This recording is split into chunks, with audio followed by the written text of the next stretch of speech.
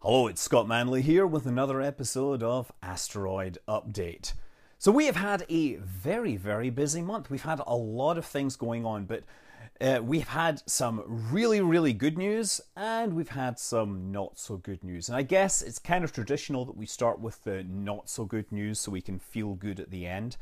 So, the not so good news is that the Asteroid Impact mission, which we've been so excited about, a mission to go to an asteroid, a binary asteroid, observe it, study it, and then observe a human made spacecraft hitting another asteroid. That is not getting the funding from the European Space Agency that it wants. And so at this point, the mission will probably not go forward at, as planned on the timeline planned.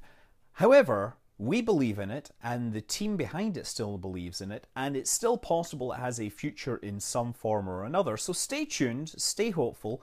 We never know, we might actually get to see this fly in some form. But of course, that's uh, what the competition has been about for the last three months. And so I guess it's as good a time as any to announce the winners of last week's or last month's competition.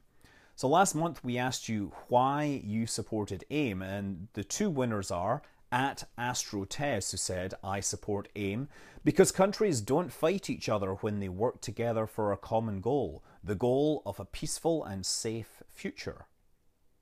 The second winner was 27 Callum S, who said, I support AIM because it lays the groundwork for what I believe to be a big part in the future of humanity, or lack thereof, without AIM and AIDA. Of course, if you still support AIM, and you haven't visited the website isupportaim.com, you probably should because while the mission didn't get funded, it's still possible that it has a future, and any support from the public will help it. Now, without uh, an AIM mission, we don't have any T-shirts to offer this month. But as a promotion or as a an Asteroid Day themed reward, Brian May and uh, Greg have come up with a uh, an asteroid themed, Christmas themed picture frame, and it's going to be available for your Facebook or your Twitter profile. It's going to basically be a bunch of snowflakes with a picture of an asteroid hidden in there for those that uh, think they can tell the difference between a bunch of stars and an asteroid. So, uh, a little festive treat there for asteroid fans. So, on to the good news. And the good news is that Asteroid Day has officially been recognized by the United Nations General Assembly. So basically, this means that International Asteroid Day is now an official thing. Previously, it was just, just a bunch of uh, asteroid fans and astronomy nerds like me who would uh, get together on June 30th and educate the public, talk about asteroids, and share what we know, and in a hope to uh, you know make the world more aware of what we consider to be an important issue. Earlier this year, the Romanian astronaut Dorin Prunariu and the Association of Space Explorers submitted a proposal to the United Nations to recognize Asteroid Day.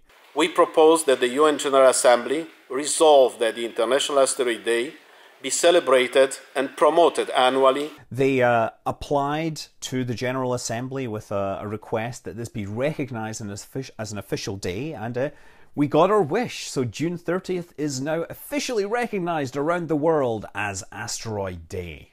I'll take a decision on the draft resolution. The committee adopted the draft re- resolution without a vote. May I take it that the Assembly wishes to do the same? It is so decided. And we look forward to Asteroid Day 2017, where no doubt lots of fun asteroid related stuff will be happening. For those of you who still wonder why June 30th is Asteroid Day, June 30th is the day where the Tunguska bolide came down and leveled thousands of square miles of Siberian forest.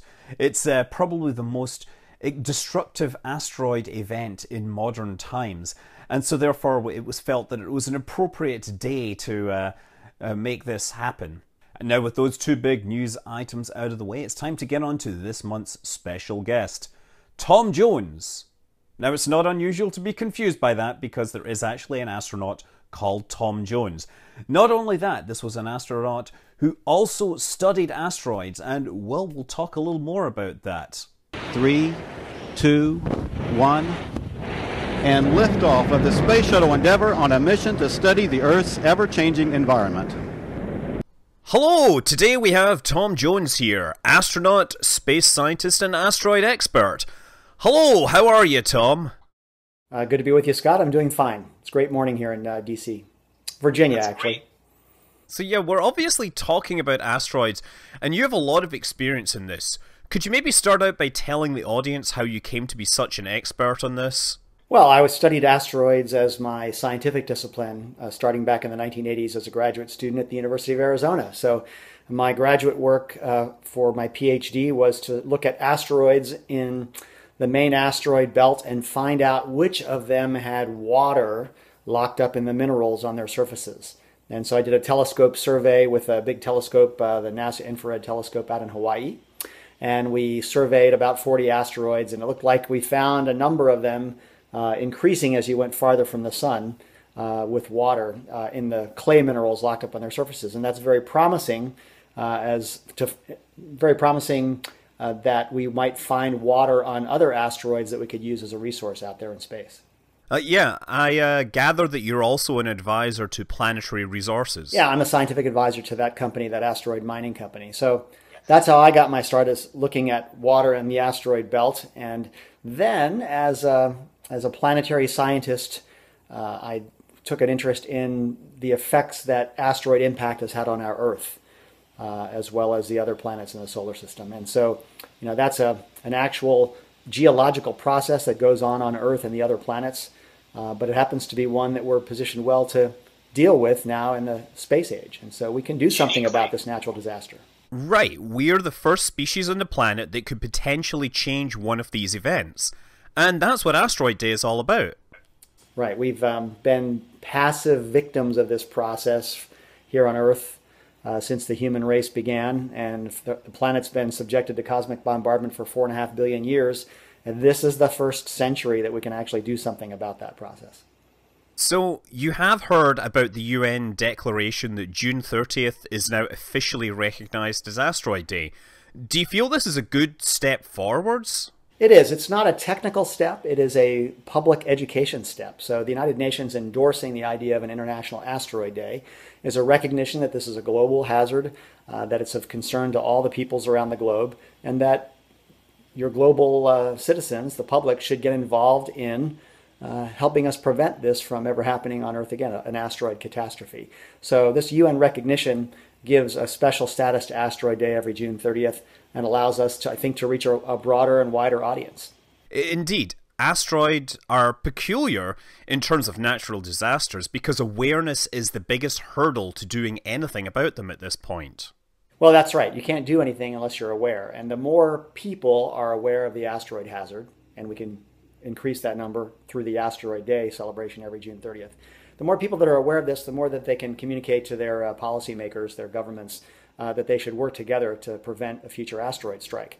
And that involves not just studying asteroids with telescopes, but actually tr- cataloging them, tracking them, predicting whether they will strike the Earth, and then working together to develop the technical means to divert an asteroid from a collision course with Earth. And that kind of effort is an international one, and the more pressure, the more enthusiasm we have for this effort, the, the faster it'll go. So, after your research, you went on to become an astronaut and you flew on several missions. Yeah, I was on four missions on the shuttle. That's right, up to the space station on my last one. I'm actually wondering. I've seen a lot of astronauts that have signed on to the 100x declaration, and I'd really like to get your opinion. Do you think that being an astronaut makes you more aware of these problems and the steps we can take to deal with them? Well, you see the Earth as a planet from space. That's one of the great privileges of going there. And when you look down at the Earth, you can't help but study beforehand and then observe in person the geology, uh, the history of our planet as portrayed in its geology and its surface.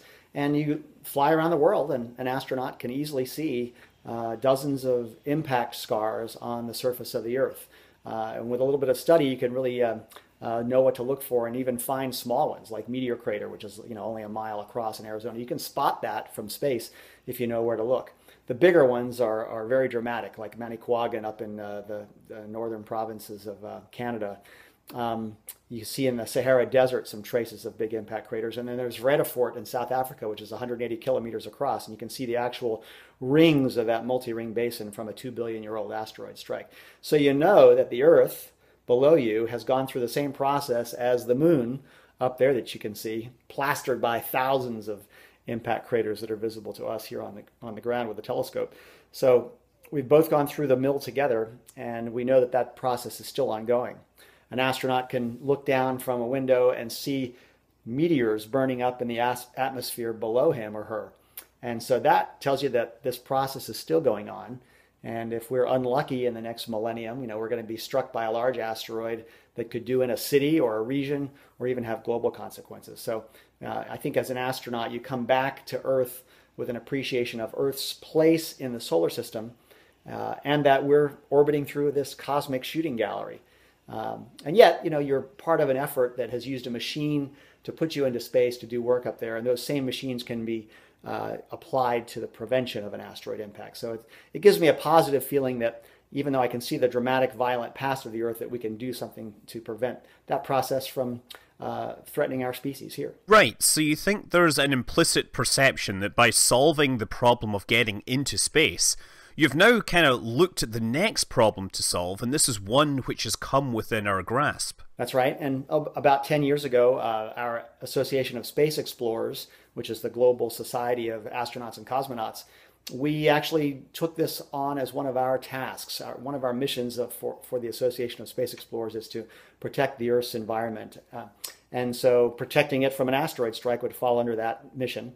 And so we agreed in, in 2005 to conduct a study of how the planet might respond to the asteroid threat. And we turned that report over to the UN in 2008. And, you know, we're very proud to say that the Association of Space Explorers planted the seeds in this report for some of the steps that have been taken in the interim uh, to protect the Earth from an asteroid catastrophe. So, this action by the UN this past week to adopt International Asteroid Day is a recognition that this is a global activity a cooperative activity. And the astronauts and cosmonauts from around the world have a unique international uh, fellowship, and we can apply that to talk to our respective governments and move this effort forward.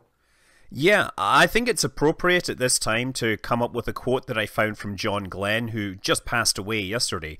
He said, To sit back and let fate play its hand out and never influence it is not the way that man was meant to operate. And I think that this really captures what Asteroid Day movement is all about. That is true. Yeah, Glenn was a guy who stood up and volunteered to ride a very volatile, uh, not failure proof rocket to put Americans into orbit and to get us jump started on the way to the moon back in 1962. And, uh, you know, he applied that philosophy to his own uh, stance that he took to say, yes, I'm going to put my life on the line for uh, the space race and America's attempt to regain leadership in that field. And that philosophy stands us in good stead today. You know, you don't just sit back and let the Earth absorb these impact hits in the future. You marshal the talents and skills that we have around the world and the collective will of, of the spacefaring countries and our partners, and we do something about this asteroid threat. And we've, we know we've gotten a, a number of reminders from Mother Nature that this is an ongoing hazard with Tunguska 100 years, uh, well, 1908, 108 years ago um, and with the Ch- uh, Chelyabinsk impact in uh, 2013. And so you put these pieces of the puzzle together and you see that we, we can act to prevent a future asteroid strike. So thanks, Tom. This has been a real pleasure. It's been really informative, and I'm sure everyone enjoyed what you had to say.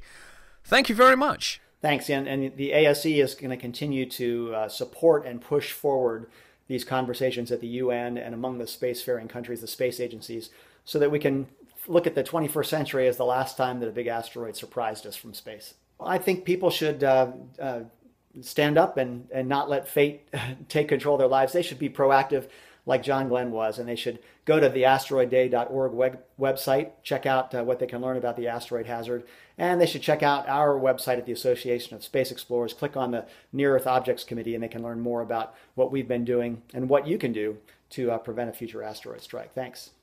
So there you have it. Tom Jones, asteroid expert and astronaut. You know, they uh, view the world in a different way, I imagine. And uh, we, of course, have to view the end of the episode. We'll be around next month with more news. And in the meantime, of course, check out the Asteroid Day webpage. We will have the Christmas Rocks uh, frame. That's apparently what we're calling it. Uh, so, yeah, see you around. Have a great holiday season. I'm Scott Manley. Fly safe.